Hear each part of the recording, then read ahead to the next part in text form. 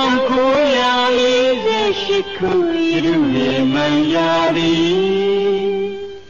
ဇန်နဝါရီလေးရက်နာနေလေးနာရီ20မိနစ်ထွန်းသေးလာပြီ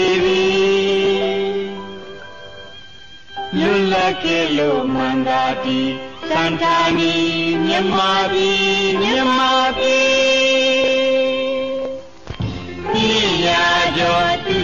ဖြစ်ခဲ့သည်တန်တရွှေငွေရတနာပင်ယူဆုံးမောသည်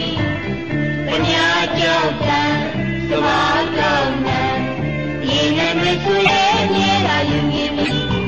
ဘုရားမဘင်္ဂတာဒီမြမလာရေမန္တရနေပြီညလုံးသွားတို့အောင်ဝဲခံသည်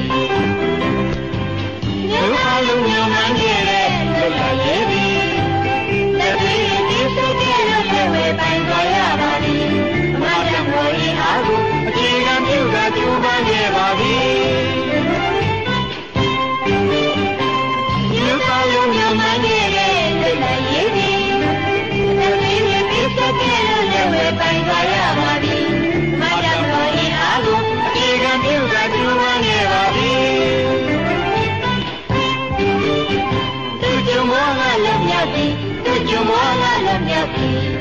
တို့ရဲ့လန်တော်သည်အစဉ်စဉ်မြင်မြင်မာလာပြီလေအောင်မဝိကတိလေအောင်မဝိကတိဒီတို့ကဒုနာကဒုဝတာယာပြီမကြီးလောင်သမ်းမြတ်ဤဒီရောက်ဆုံးကလာပြီ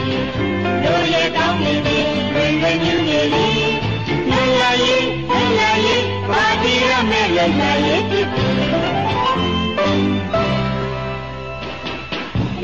ဖြစ်ပြီမြို့ပါလုံးမြို့မှန်နေ